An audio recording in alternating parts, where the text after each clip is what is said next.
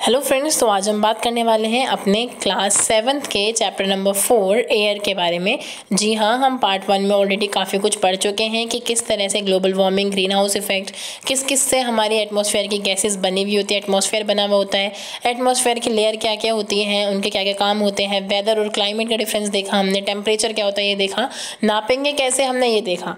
ठीक है, अब हम देखने वाले हवा कैसे प्रेशर डालती है। मैंने आपको बताया था लास्ट वीडियो में कि लाइक हवा को हम नापते हैं बैरोमीटर से, लेकिन ये प्रेशर होता क्या है? ठीक है, ये देखेंगे। तो चलिए देखते हैं आगे। अब मैंने एक बात करी थी एयर प्रेशर की। अब ये एयर प्रेशर क्या होता है? देखो, मज़े की बात ये है कि इस टाइम अगर मैं बैठी हूँ, ठीक है, आप कहीं बैठे हो, ठीक है, हमारी बॉडी पे प्रेशर लग रहा है हवा के द्वारा, ठीक है, लगातार हमारे ऊपर प्रेशर लग रहा है, ठीक है, लेकिन हमें फील क्यों नहीं हो रहा? क्योंकि हमारी बॉडी भी इक्वल प्रेशर लगा रही है। ठीक है, अगर आ रहा है तो हम दे भी रहे हैं। तो इसलिए क्या हो रहा है बैलेंस बना रहा है। ठीक है, अगर किसी एक का भी प्रेशर ज़्यादा होगा तो वो ओवरकम कर जाएगा उस चीज़ को। मान लो कि जब बहुत तेज़ हवा चलती है तो हमें लगता है ना कि हम उड़ने वाले एक तरह से, जब साइक्लोन आता है, जब सब लोग उड़ने लग जाते हैं, ठीक है, तब क्या होता है साइक्लोन में? यानी कि जो एटमोस्फेरिक प्रेशर है, वो बहुत ज़्यादा हो गया, हमारी बॉडी के प्रेशर से तो तभी हम क्या होते हैं, उड़ने लग जाते हैं। ठीक है, चीज़ें उड़ने लग जाती हैं। बाकी हमारी बॉडी पे ऑलवेज प्रेशर है, और हमारी बॉडी भी प्रेशर एग्जर्ट करती है, इसलिए हमारा बैलेंस बना रहता है। ठीक है? अगर आप बात करो कि अगर मून पे कोई जाते हैं मून पे हमारे स्पेस मतलब स्पेस में स्पेस हमारे जो साइंटिस्ट होते हैं एस्ट्रोनॉट होते हैं, वो सब जाते हैं, ठीक है? वहाँ पे क्या होता है? एटमॉस्फेयर नहीं है। एटमॉस्फेयर नहीं है तो एयर प्रेशर भी नहीं है, ठीक है? अब एयर प्रेशर नहीं है वहाँ पे मून पे। वो अगर वो जो स्पेस क्राफ्ट वाले जो अपना वो कॉस्ट्यूम पहनते हैं ना लाइक जो जितने भी उनकी किट वगैरह होती है, वो पहनते हैं। अगर वो किट वो ना पहने तो क्या होगा? हमारी पल्स रेट जो है ना, जो हमारी बॉडी का ब्लड प्रेशर है, जो हमने यूज़ करना ना ब्लड प्रेशर की ब्लड प्रेशर क्या होता है? ये ब्लड प्रेशर ये तो है जो हमारा ब्लड प्रेशर लगा रहा है बॉडी से बाहर की तरफ़, और एटमोसफेयर प्रेशर लगा रहा है बॉडी में अंदर की तरफ़, इसलिए बैलेंस बना हुआ है। अब ये वाला प्रेशर अगर कम हो गया तो यानी कि हमारा वाला प्रेशर ज़्यादा हो गया, हमारा वाला प्रेशर ज़्यादा हो जाएगा तो क्या हो जाएगी? नसें फट जाएँगी, ठीक है?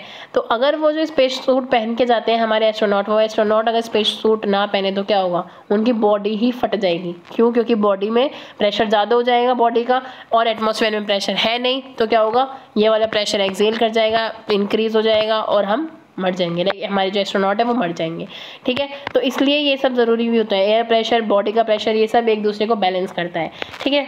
तो हमें समझ में आया तो ये तो प्रेशर वाली बात हो गई। अब एयर प्रेशर क्या है? कैसे डिफाइन करोगे? Pressure exerted by the weight of the air on the earth surface earth की सरफेस पे जो कि हवा का दबाव है, जो हवा दबाव डाल रही है, वो एयर प्रेशर है। ठीक है? समझ में आ गया? जैसे ही हम क्या करते हैं एज वी गो अप जैसे ही हम ऊपर जाते हैं प्रेशर कम होने लगता है। अब ये क्यों हुआ? अभी मैंने आपको बताया था, जैसे हम ऊपर जाते हैं, ठीक है? अब ऊपर कैसे जाते हैं? हीट बड़ी ज़मीन पे, नीचे वाली गैस ऊपर जाती है, यानी कि ऊपर तो हल्की गैस है। अब हल्की गैस, यानी कि कम प्रेशर ठीक है? नीचे ज़्यादा बड़ी गैसेज हैं, ठीक है? ज़्यादा वेट वाली गैसेज हैं तो यहाँ पे ज़्यादा प्रेशर तो नीचे ज़्यादा प्रेशर रहता है और ऊपर कम प्रेशर रहता है। जब ऊपर कम प्रेशर रहता है, इसलिए क्या होता है? जब माउंटेनियर्स माउंटेन पे चढ़ते हैं तो कभी कभी उनकी नोज़ से ब्लीडिंग हो जाती है। क्यों? क्योंकि ब्लड को निकलने का रास्ता चाहिए। ब्लड के अंदर क्या चलता रहता है कि भाई मतलब उसे एग्जर्ट करने का कोई रास्ता बता दो बस जल्दी से, क्योंकि ऊपर से प्रेशर आ नहीं रहा, ठीक है? ये तो प्रेशर लगाएगा ही तो बैलेंस तो हुआ ही नहीं। एक का प्रेशर ज़्यादा होता है तो प्रिवेल हो जाएगी वो चीज़ें तो नोज़ से ब्लड आने लगता है कभी कभी किसको, जो लोग माउंटेनियरिंग करते हैं, बहुत ऊँचा ऊँचा जाते हैं, इसलिए। ठीक है? तो जैसे ही आप ऊँचा बढ़ोगे, प्रेशर कम हो जाएगा। प्रेशर क्यों कम हुआ, आपको पता है, क्योंकि ऊपर, नीचे से जो हवा है, वो ऊपर जाती है, ठीक है, हल्की होकर के। ठीक, हमें समझ में आ गया, ओके। इसके अलावा जो, एक तो वर्टिकली हो गया, ये तो वर्टिकली होरिजोनटली भी। कहीं पे आपको ज़्यादा प्रेशर मिलेगा, कहीं पे कम। तो ये किसकी वजह से होता है? टेम्परेचर की वजह से। अब देखो, यहाँ पे समझेंगे कि जैसे ही क्या हुआ है, in areas where temperature is high जहाँ टेम्परेचर ज़्यादा है, वहाँ क्या होगा कि जो हमारी हवा है, वो क्या करेगी, ऊपर चढ़ेगी। जैसे ही ऊपर बढ़ेगी तो अपने साथ क्या होता है वाटर के मॉलिक्यूल्स ह्यूमिडिटी लेके चलती है, हवा में पानी की बूंदें तो रहती हैं। तो क्या हुआ टेम्परेचर बढ़ता जा रहा है, ठीक है, नीचे की हवा ऊपर जाती जा रही है तो क्लाउड्स बनते चले जाएँगे, ठीक है। अब जैसे नीचे की हवा ऊपर जाती जा रही है, यहाँ तो हो गया लो प्रेशर तो जैसे ही नीचे लो प्रेशर ऊपर क्लाउड्स ठीक समझ में आया। दूसरा है कि अगर आपका क्या है कि एरिया है, उसमें लो टेम्परेचर है, कम टेम्परेचर है, यानी कि हवा ठंडी है, ठीक है? हवा ठंडी होने की वजह से क्या होगी? हवा नीचे आ जाएगी। सारी हवा तो नीचे आ गई, ऊपर तो हवा ही नहीं है। यानी कि क्लाउड्स नहीं बन रहे, कुछ नहीं बन रहे तो ऊपर क्या है? सनी लेयर हो जाएगी। सन सन का क्लियर मौसम, ये सारी चीज़ हो जाएँगी। तभी तो हम कहते हैं कि आज तो यार गर्मी बहुत ज़्यादा यानी कि बारिश होगी ही। गर्मी बहुत ज़्यादा की वजह से बारिश क्यों होगी?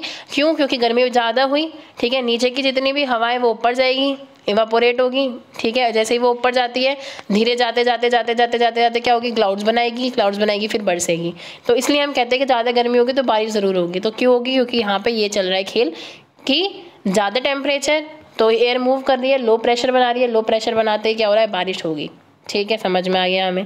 एयर क्या है? हमेशा मूव करती रहती है और जब एयर ज़्यादा मूव करती है, ठीक है तो आप उसे विंड कहते हो और एयर क्या करती है? हाई प्रेशर से लो प्रेशर की तरफ़ जाती है, वो मैंने आपको बता दिया कि जैसे ही जगह खाली होती है कहीं पर भी, ठीक है, यहाँ पे मान लो लो प्रेशर है, यहाँ पे हाई प्रेशर है तो ये जो भीड़ वाले लोग हैं ट्राई करेंगे कि हम लो प्रेशर वाली एरिया में जाएँ तो हाई से लो की तरफ़ ही हमेशा मूव करती है हवा, ठीक है, इतनी अकल है हवा में कि मुझे कहाँ जाना चाहिए, ये नहीं है कि एक ही सीट पर लड़ना है ओके अब ये मैं आपको बता चुकी हूँ एस्ट्रोनॉट वाला कि जो प्रोटेक्टिव स्पेस सूट पहनते हैं, इस वजह से नहीं तो ब्लड वेजल्स फट जाएँगी। ठीक, हवा हमने देखी कि हवा का जो मूवमेंट होता है, आप उसे विंड कहते हो। ठीक है? आपने विंड कह दी। इस विंड से क्या होता है? कभी कभी विंड इतनी ज़्यादा खतरनाक हो जाती है, इतनी ज़्यादा स्ट्रॉन्ग हो जाती है कि कभी कभी तो सिर्फ़ क्या होता है कि बहुत हल्की रहती हैं, कभी बहुत ज़्यादा हो जाती है। जैसे कभी कभी तो सिर्फ़ पत्तों को हिलाती हैं, पत्तों को गिरा देती है। कभी इतनी स्ट्रॉन्ग होती है कि पेड़ पेड़ों को भी उखाड़ देती हैं। ठीक है? तो ये डिपेंड करता है कि वो किस स्पीड से कैसे उड़ रही हैं, क्या कर रही हैं। जो अब ब्लोइंग अवे स्मोक और फाइन डस्ट कुछ तो इतनी हल्की होती हैं कि वो सिर्फ़ आसपास की धूल वगैरह उड़ा के ले जाती हैं। ठीक है? तो थोड़ा क्लियर हो जाता है मौसम। कभी कभी कभी धूल लेके आ जाती हैं, जिसमें आपको चलना भी मुश्किल हो जाता है। तो इट डिपेंड्स कि कैसा आपका क्या है विंड की स्पीड कितनी है विंड कितनी स्ट्रॉन्गली आ रही है। कभी कभी किसी विंडी डे पे आपका अम्ब्रेला पकड़ना भी मुश्किल हो जाता है। ठीक है, ये सारे क्या है विंड के अलग अलग स्पीड से आपको होने वाली दिक्कतें या चीज़ें। ठीक है, अब जो ये विंड का मूवमेंट होता है, ये विंड का मूवमेंट तीन तरीके से होता है। ये तीन तरीके कौन कौन से हैं? एक तो विंड है जो परमानेंटली बहती रहती है। ठीक है द ट्रेड विंड भी कहते हो इन्हें वेस्टर्लीज या ईस्टर्लीज होती हैं। अभी वेस्टर्लीज और ईस्टर्लीज क्या है?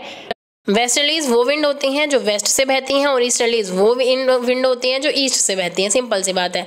ठीक है, अगर आपका ये क्या है, आपकी पृथ्वी है, या आपका इक्वेटर है, अगर ये ईस्ट वाला एरिया है ना, ये वाला आपका ईस्ट वाला एरिया है और यह वाला आपका वेस्ट वाला एरिया है।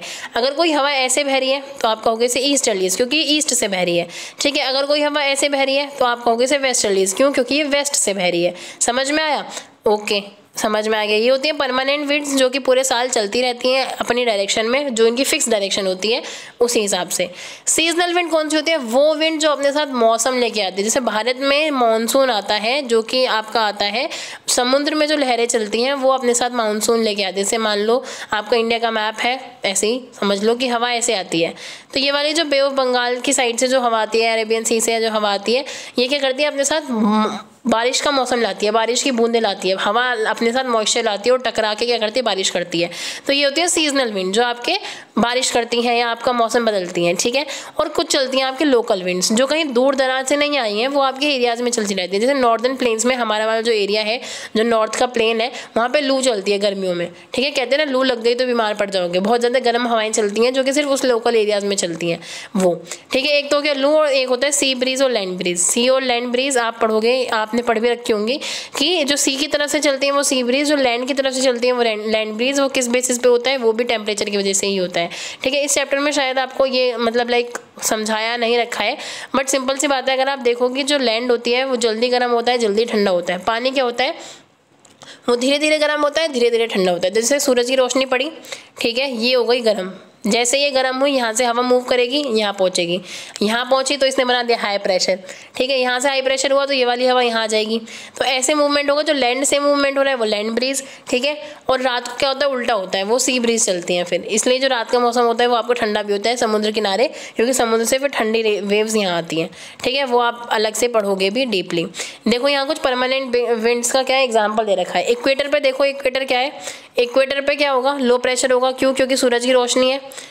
बिल्कुल सीधी पड़ती है इक्वेटर पे। इक्वेटर पे सीधी पड़ी, यानी कि यहाँ पे क्या हुआ टेम्परेचर ज़्यादा। टेम्परेचर ज़्यादा, हवा मूव करेंगी। तो यहाँ क्या बन गया? लो प्रेशर बन गया। लो प्रेशर बन गया। अब हमने देखा था हाई प्रेशर से लो प्रेशर की तरफ़ क्या जाती है?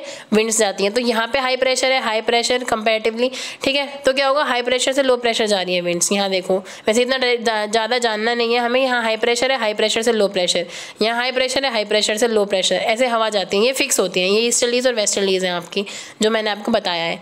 ठीक है? अब क्या है? ये आपको मैं बता चुकी हूँ कि जिस तरफ़ से बहती हैं, ठीक है, उसी तरफ़ का नाम आपको दे दिया।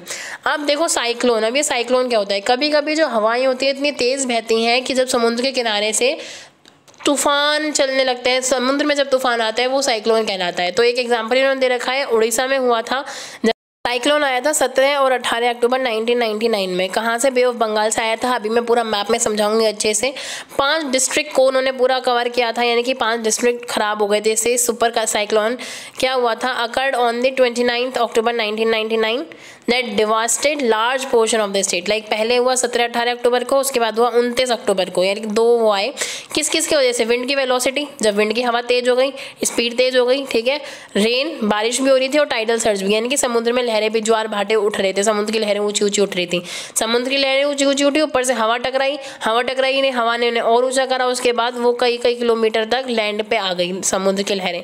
अब जब लैंड पे आएँगी समुद्र की लहरें तो अपने साथ बाहर ले जाएँगी। अब देखो स्पीड कितनी थी, दो सौ साठ किलोमीटर पर आवर। एक घंटे में दो सौ साठ किलोमीटर की स्पीड पे आप जा रहे हो, छत्तीस घंटों तक ये हवाएँ चल रही हैं। तो बताओ अपने साथ कितनी सारी चीज़ें उखाड़ के ले जाएँगे। तो सारे पेड़ वगैरह उखाड़ दिए गए, कच्चे हाउस उखड़ गए, सारी इंडस्ट्रियल जो जगह थी, सारी इंडस्ट्रीज़ बनी हुई थी, सब खत्म हो गया। पावर सप्लाई टेलीकॉम यानी कि टेलीफोन लाइन सब वगैरह कट गई। बहुत तेज़ तेज़ बारिश हो रही थी, तीन दिन तक कंटिन्यूसली बारिश हुई थी। सारा जो आपका उड़ीसा है, वो फ्लड में हो गया था, बाढ़ आ गई थी वहाँ पे। ठीक है, क्योंकि बारिश भी लगातार हो रही थी सब चीज़ें बर्बाद भी हो चुकी थी तो कोई पानी रोकने वाला सिस्टम नहीं था। क्योंकि पेड़ क्या करते हैं, पानी रोकते हैं ना तो पेड़ ही खत्म हो गए तो पानी रुकना तो था ही नहीं। ठीक है, बीस किलोमीटर अंदर तक चली गई, जो आपका पानी की हो गई लहरें। अब वो बीस किलोमीटर अंदर तक जाएँगे, ये आपका समुद्र का किनारा है, बीस किलोमीटर अंदर, यानी कि बीस किलोमीटर की ज़मीन खत्म। ठीक है जितना भी कोस्टल एरिया था, सब डिस्ट्रॉय हो गया। सात से दस मीटर हाई टाइडल वेव्स थी, यानी कि सात से दस मीटर हाई जाएँगे तो देखो कितना उछलेंगे फिर वो। ऐसे करते करते जो वहाँ पे जितनी भी खेती वगैरह थी पैडी के क्रॉप्स की, वो सब बर्बाद हो गई वहाँ के लोग, सब सब कुछ खत्म हो गए ये देखो, ये आपको फ़ोटो दिखा रखा है। अब ये हुआ कैसे था?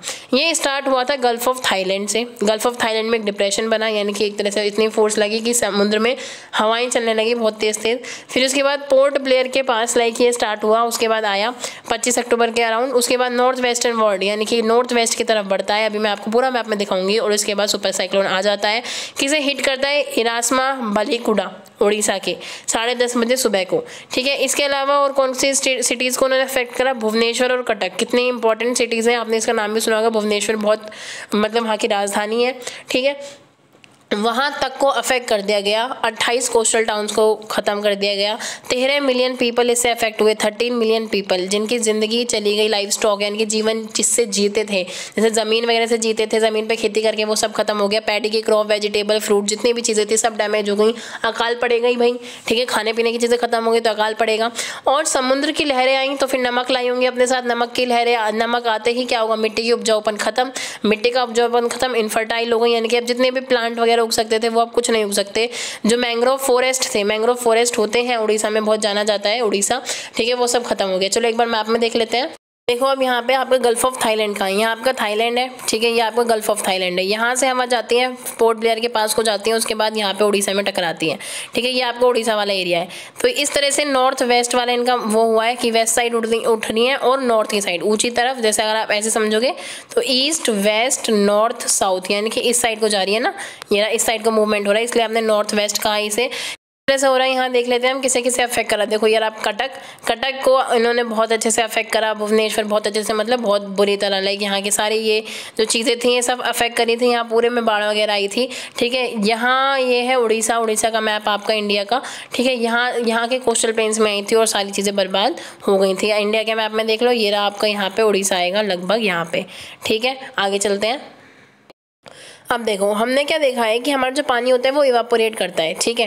इवेपोरेशन से क्या होता है कि समुद्र के पानी से इवापोरेशन करो तो आपको नमक मिलता है। जी हाँ हर तरह से पानी के इवापोरेशन से आपको कुछ ना कुछ मिल ही जाता है, क्योंकि वाटर की बस फॉर्म चेंज होती है। कभी बर्फ़ से हवा बन जाती है, हवा से बूंदे, बूंदों से पानी, नदी का कुछ भी बन जाती है वो, ठीक है? तो अलग अलग वाटर बॉडीज से जब पानी उड़ता है वाटर वेपर्स बनती हैं इवापोरेट होता है, तब मॉइस्चर बनता है, उससे मॉइस्चर होता है, ठीक है? मॉइस्चर क्या होता है? हवा में कितना पानी प्रेजेंट है, वो मॉइस्चर है, ठीक है? और जितना मॉइस्चर है, हवा हवा में, उससे आपकी ह्यूमिडिटी होती है कि जो आप कहते हो ना, नमी, ठीक है? कभी कभी उमस वर्ड यूज़ करा जाता है कि उमस बहुत ज़्यादा है, कि आप थोड़ा इरीटेट हो जाते हो उस मौसम में, कि जब क्या होता है, कहते हैं कि थोड़ा इरीटेशन हो रही है इचिंग सी हो रही है, चिपचिपा सा लग रहा है तो क्या होता है कि ना तो मतलब लाइक गर्मी, धूप हो या ना हो, लेकिन गर्मी बहुत होती है, ठीक है? तो क्या होता है कि पानी में जो आपका हवा है, हवा में पानी की बूंदें बहुत ज़्यादा हो जाती है ह्यूमिडिटी बहुत ज़्यादा हो जाती है, वो वाला मौसम होता है, ठीक है? जैसे ही फुल ऑफ़ वाटर वेपर होता है ह्यूमिड रहे तो क्या होता है air gets warmer air air क्या होता है? होती है, गर्म होना शुरू होती है, उसकी जो कैपेसिटी होती है वाटर वेपर को लेने की वो इंक्रीज हो जाती है। तो वो ज़्यादा से ज़्यादा क्या होता है so it becomes more and more humid ज़्यादा से ज़्यादा ह्यूमिड वो बनती चली जाती है,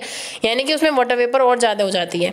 एक टाइम पे जब वाटर वेपर बहुत ज़्यादा हो गई, तब आप अगर वहाँ पे कपड़े सुखाओगे ना तो आपके कपड़े नहीं सूखते। क्यों? क्योंकि ह्यूमन डे में क्या होता है कि ऑलरेडी जो हमारा वाटर है, हमारा वाटर एनवायरनमेंट में बहुत ज़्यादा है तो वो जल्दी से सूखेगा नहीं। अनकंफर्टेबल आपको फील होगा और वो जल्दी से सूखेगा नहीं।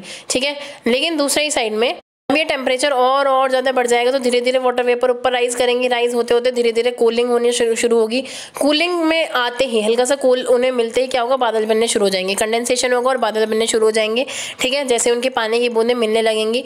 जैसे ही क्लाउड्स बनेंगे, उसके बाद क्या होगा? बहुत ज़्यादा पानी होने के बाद, जब वो कंट्रोल नहीं कर पाएँगे तो वो बरस जाएँगे। तो बेसिकली प्रोसेस क्या चल रहा है कि आपका जो पानी है, वो इवापोरेट हो रहा है। इवापोरेट होते होते क्या हो रहा है कि जो वो एयर के मॉलिक्यूल्स है, उसमें पानी आ रहा है।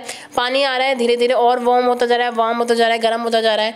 तो धीरे धीरे इसकी अब जो लिमिट है वो खत्म हो जाएगी पानी को कंट्रोल करने की तो आपके कपड़े नहीं सूख रहे। फिर ये जो बूंदे हैं वो और ऊँची जाएँगी, यानी कि जो आपकी पानी, हवा है, वो और ऊँची जाएगी जाते जाते जैसे ही वो थोड़ा टेम्परेचर उसका ठंडा मिलेगा, उसे कंडेंस होना शुरू हो जाएगी। कंडेंस होते क्या होगी? पानी की ड्रॉपलेट्स में वो पूरी तरह बदल जाएगी। पहले तो हवा के साथ मिक्स अब वो पूरी पानी बन जाएगी और एक साथ इकट्ठे हो जाएगी, बादल बनाएगी। बादल बनाते ही जैसे ही प्रेशर और बड़ा और बड़ा और बड़ा कंट्रोल नहीं हुआ, बरस गया। ठीक है? तो ऐसे आपकी हवा होती है। ठीक है? बारिश होती है इस तरह से। अब आपने देखा होगा कभी कभी जेट प्लेन्स जब उड़ाए जाते हैं तो पीछे हवा में क्या होता है वाइट वाइट कलर का धुआँ निकलता है। लाइक वो धुआँ भी नहीं होता वाइट वाइट कलर का वो निकलता है। तो क्या होता है कि जितना भी हवा का मॉइस्चर होता है the moisture from the engines condenses जो इंजन से जितना भी मोशन निकला, वो इन्वायरमेंट के कंट्रोल में आते ही इन्वायरमेंट के टच में आते ही ठंडा हो गया। ठीक है, मान लो आपका स्पेस क्राफ्ट वो है फ्लाइंग जेट है, उड़ा, इसके अंदर से क्या निकला? मॉइस्चर निकला। मॉइस्चर जैसे ही आया इन्वायरमेंट में, ठंडा हुआ थोड़ा सा क्योंकि यहाँ तो देखो बर्न हो रहा था फ्यूल वगैरह थे तो यहाँ तो ठंडा लगेगा ही वो एकदम से क्या होता है कंडेंस हो जाता है, और इसलिए वो हमें वाइट वाइट धुआँ दिखाई देता है। ठीक है, वरना वो दिखाई भी ना दे। ओके जब खासकर हवा ना चल रही हो, अगर हवा चल रही होगी तो फैल जाएगा, ठीक है? हवा के मूवमेंट में मिक्स हो जाएगा बट अगर हवा नहीं चल रही तब आपको क्लियरली दिखाई देगा, ठीक है? अब जो प्रेसिपिटेशन होता है अर्थ पे लिक्विड फॉर्म में, उसे ही आप क्या कहते हो? रेन कहते हो। जितना ग्राउंड वाटर है कम्स फ्रॉम रेन वाटर जितना भी आपका ज़मीन के अंदर का पानी है, वो रेन वाटर से ही आता है कहीं ना कहीं, ठीक है? अब क्या है, जैसे ही हवा बारिश वगैरह होती है, जो प्लांट्स होते हैं, वो हमारे पानी को बचाते हैं। अगर हमारे जो ट्रीज़ हैं, वो कटने लग जाएँगे तो रेन वाटर क्या होगा? फ्लो होगा या नीचे आएगा, ठीक है? और उसमें क्या होता है? बाढ़ आती है। बाढ़ क्यों आती है? है अगर देखो आपका पहाड़ है, ठीक है? एक पहाड़ है, पहाड़ पे एक पे क्या है? पेड़ वगैरह लग रहे हैं और इस वाले पहाड़ पे कुछ नहीं लग रहा है। तो यहाँ पे क्या होगा? कि पेड़ वगैरह लग रहे हैं तो पानी बहेगा तो कंट्रोल हो जाएगा। ये जो जड़ें हैं, वो पीती रहेंगी पानी तो नीचे बहुत कम पानी आएगा। यहाँ पे क्या होगा? जब कुछ नहीं है तो फैल के नीचे आएगा, इसलिए बाढ़ आती है कभी कभी क्योंकि हम पेड़ क्या करते हैं? काटने लगे हैं, ठीक है? अब तीन तरह की आपकी रेनफॉल होती है, कैसे? एक तो कन्वेक्शनल एक क्या है? और ओरोग्राफिक और एक है साइक्लोनिक रेनफॉल कैसी कैसी होती है? देख लेते हैं। अब देखो साइक्लोनिक रेनफॉल कैसी होती है? साइक्लोनिक रेनफॉल जो एक तरह से क्या है जैसे आपका आ, हवा चलती है उस अकॉर्डिंग होता है कि वार्म एयर जो गर्म एयर हवा थी ऊपर गई, ठीक है, हवा अपने साथ मॉइस्चर लेके जाती है, ऊपर जैसे ही थोड़ा ठंडा मौसम मिला उसे, वो क्या करते हैं इकट्ठी हुई इकट्ठी हुई इकट्ठी हुई क्लाउड बनाए और बरस गई। जैसे ही हवा ऊपर जा रही है तो यहाँ क्या बन गया हाई प्रेशर बन गया तो ऊपर से हवा धीरे धीरे लो प्रेशर में नीचे भी आ रही है। तो ऐसे मूवमेंट चल रहा है और इसी मूवमेंट की वजह से बीच में क्या हो रहा है, बादल बन जा रहे हैं, क्योंकि जैसे वो ऊपर जा रही है तो कुछ क्या है, कुछ वो बूंदे इकट्ठी हो जा रही है बूंदे इकट्ठी होकर बारिश बना रही है और फिर बाद में बरस गई, ठीक है, बादल बनाए और बरस गई। ये तो गया आपका साइक्लोनिक कि गर्म और ठंडी हवा की वजह से। फिर एक क्या है कि हवा आई, अपने साथ पानी की बूंदें लेके ही आती, हवा में होती है ह्यूमिडिटी वाटर वेपर्स होते हैं। वो आई और उसे एक पहाड़ मिल गया, पहाड़ से टकरा गई। ठीक है, पहाड़ ने उसका रास्ता रोक दिया। अब क्या होगा? हवा आई, टकरा दिया टकरा दिया तो क्या होगा? टकरा के। आपको पता है, बादल टकराया और बारिश हो गई, ठीक है? तो वही चीज़ है, जब कोई भी ऊँची हाइट वाली चीज़ टकरा जाती है बादलों से, तब जो बरसता है, उसे आप रिलीफ रेनफॉल कहते हो। साइक्लोनिक देख लिया रिलीफ देख लिया। अब कन्वेक्शनल यानी कि जो नॉर्मली आपकी चलती है, कि गर्म है हवा, ऊपर गई, बरस गई, ठीक है? फिर गर्म हुई हवा, ऊपर गई, बरस गई, जो आप वाटर साइकिल में पढ़ते आए हो, कि क्या होता है? कि समुद्र का पानी है, ठीक है? पानी है, सूरज की रोशनी पड़ी, गर्म हुआ, ऊपर गया, बादल बनाया आया, नीचे टपक गया। ठीक है? ये आपका कन्वेक्शनल चल रहा है। ये आपका क्या है? वार्म एयर यानी कि वार्म एयर ऊपर जा रही है। लो प्रेशर और हाई प्रेशर वाला बना रही है कि ऊपर हो गया हाई प्रेशर नीचे हो गया लो प्रेशर ये ऐसे मूवमेंट करके आ गई और बारिश हो गई। ठीक है? तो ये आपका चल रहा है। हमने रेनफॉल के तीनों टाइप पढ़ लिए। अब क्या है? रेनफॉल बहुत ज़्यादा इंपॉर्टेंट है प्लांट्स के लिए भी एनिमल्स के लिए भी। ठीक है? फ्रेश वाटर प्रोवाइड करवाता है। अगर रेनफॉल कम होती है तो वाटर की स्कैरिसिटी वाटर की कमी हो जाती है, अकाल पड़ जाता है। दूसरी तरफ़, अगर यही पानी ज़्यादा हो जाए तो बाढ़ आ जाती है। ठीक है? तो देखा वाटर कितना इंपॉर्टेंट है और किस किस शेप में किस तरह से। अब क्या है प्रेसिपिटेशन तीन तरह से हो सकता है और स्नो स्लीट और हेल अब ये क्या होता है? स्नो तो क्या है? बार जो बर्फ़ होती है, आपके आप कहते हो ना, बर्फ़ गिर रही है, बर्फ़ गिरती है तो वो थोड़ी मतलब एक थोड़ी सॉफ्ट और क्रंची से उसमें होती है तो क्या होता है, थोड़ी भुरभुरी सी होती है और वो गिरती है नीचे, वो स्नो होती है। स्लीट और हेल आपके एक तरह से वो बिल्कुल बर्फ़ के टुकड़े ही होते हैं, जो आपके ओले आप जिन्हें कहते हो, वो तो होती है हेल स्लीट क्या होता है? स्लीट भी एक तरह के ओले ही होते हैं, लेकिन स्लीट क्या होता है, कभी वो बारिश की बूंदों की तरह उगती है मतलब उगती कह रही हूँ मतलब टपकती है बारिश की बूंदों की तरह। अब टेम्परेचर और ठंडा मिल गया तो क्या हो जाएगी, बर्फ़ बन जाएगा थोड़ा सा। फिर और नीचे आया, फिर से टेम्परेचर गर्म मिल गया तो पानी की बूंदें बन जाएँगी, फिर नीचे आया और आते आते फिर ठंडा टेम्परेचर मिल गया तो फिर बर्फ़ के टुकड़े बन जाएँगे। तो ये स्लीट होता है। हेल क्या होता है? अगर बर्फ़ के टुकड़े गिरने तो बर्फ़ के टुकड़े ही गिरेंगे। स्लीट में क्या है? फॉर्म चेंज होती रहती है। और स्नो क्या है? स्नो तो आपका बर्फ़ है ही जो भूर भूरी सी, आपको स्नो मतलब आइस और माउंटेन्स पे सब देखने को मिलती है। ठीक है? अब एक्सरसाइज देख लेते हैं। थोड़ा रिविजन हो जाएगा हमारा। अब वो कह रहा है एटमोसफेयर क्या होता है? एटमोसफेयर एक ब्लैंकेट है अर्थ के चारों तरफ़, जो कि अर्थ के टेम्परेचर को क्या करती है? नॉर्मल रखती है। दो गैसेस जो बहुत ज़्यादा है नाइट्रोजन और ऑक्सीजन आपको पता है। ठीक है, कौन सी गैस क्रिएट करती है ग्रीन हाउस इफ़ेक्ट एटमोसफेयर में सी करती है, आपको पता है, वही गर्मी लेती है। वेदर क्या होता है? डे टू डे चेंज को आप वेदर कहते हो। Day to day change of temperature या फिर कहते हो हॉटनेस और कोल्डनेस ये सब। तीन टाइप ऑफ़ रेनफॉल कौन से है? कन्वेक्शनल है साइक्लोनिक है और रिलीफ है। ठीक है एयर प्रेशर क्या होता है? एयर प्रेशर है जो भी हवा प्रेशर लगा रही है अर्थ सरफेस पर। That is known as air pressure ठीक है? अब इनमें से कौन सा है कि which of the following gas gases protect us from harmful sun rays sun rays से कौन कौन बचाता है? हार्मफुल ओजोन लेयर बचाती है, हमने पढ़ा था। ठीक है? मोस्ट इंपॉर्टेंट लेयर कौन सी है एटमोसफेयर की?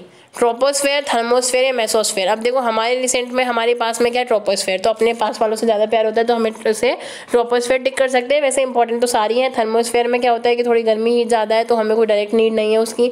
मेसोस्फेयर में उल्का पिंड आके जल जाते हैं। इंपॉर्टेंट तो वो भी है, वरना तो अर्थ के हिस्सों पर गिर जाएँगे उल्का पिंड।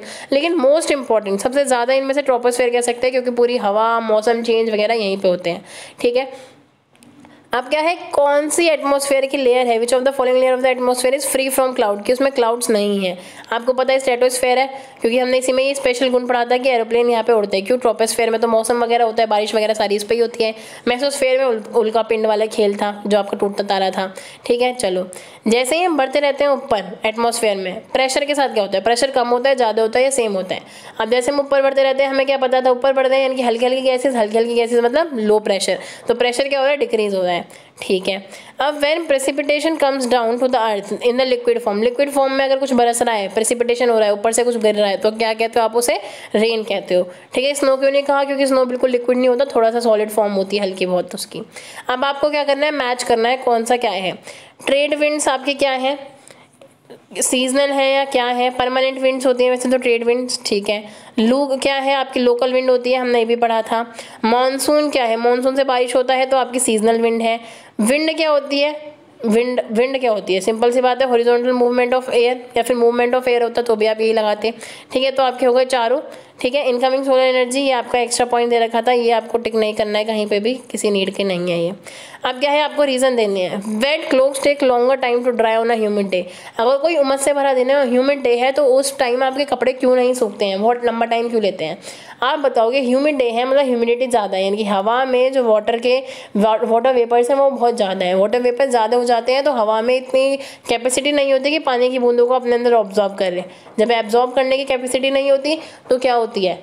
कपड़ा सूखेगा ही नहीं। कपड़ा सूख के क्या होता है? जैसे कपड़ा होता है, ठीक है, सूरज की रोशनी पड़ी तो इसका जो पानी है वो हवा में तो चला जाता है। अब हवा तो लेने से मना कर रही है, अब जब हवा लेने से मना कर देगी तो क्या आ जाएगा? पानी वापस इसमें ही आ जाएगा। तो इस वजह से क्या है? आपके कपड़े नहीं सूखते हैं। Amount of insolation decrease from equator towards pole अब क्या है जो इंसोलेशन है? कि जो सूरज की रोशनी हम ले रहे हैं, ठीक है, वो हम इक्वेटर पे ज़्यादा ले रहे हैं और पोल्स पे कम क्यों? आपको पता है, आप सिक्स क्लास में पढ़ रहे थे कि आपका ये सूरज है, सूरज की रोशनी इक्वेटर पे सीधी पड़ती है, जिस पॉइंट पे सीधी पड़ती है, आपने उसे इक्वेटर का नाम दिया था, ठीक है पोल्स पे स्लेंट हाइट जाती है स्लैंटली क्या जाती है? सूरज की रोशनी जाती है तो कम रोशनी जाती है, इसीलिए क्या इंसोलेशन भी उसमें कम है। इसलिए वो डिक्रीज हो जाता है, जैसे हम इक्वेटर से पोल्स की तरफ़ जाते हैं due to the position of sun and earth कि वहाँ पर सूरज की रोशनी डायरेक्ट आती है और वहाँ सूरज की रोशनी कम आती है। इसी के साथ आपका चैप्टर कंप्लीट होता है। हमने पूरा इसमें बहुत अच्छे से पढ़ा कि आपका एटमोसफेयर किस किस तरीके से बना है क्या क्या गैसेज हैं उसके अंदर, ठीक है, बारिश कैसे होती है, तूफ़ान कैसे आते हैं, और हवा कैसे चलती है कौन कौन सी लेयर है वेदर क्या होता है क्लाइमेट क्या होता है टेम्परेचर क्या होता है एयर प्रेशर क्या है, ठीक है, कैसे बारिश हुई, कैसे बाढ़ आई, या फिर ये सारी चीज़ें। इसके साथ कोई भी क्वेरीज हो तो आप पूछ सकते हैं। Till then bye bye take care